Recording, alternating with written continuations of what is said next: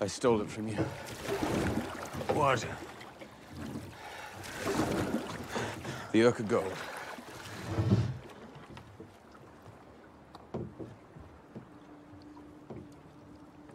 I told you we were deceived about it having been recovered by the Spanish. It wasn't entirely true. You were deceived. I built the lie. Enlisted the scouts, arranged the sale of the information to Captain Rackham. I conceived it all. You know, I've had my fill of hearing you go on about this crew being too weak to keep up with you. Some of them may be weaker than you, some of them may be less smart. But don't you for a second believe I fit that description. Whatever happens out here, one thing is certain.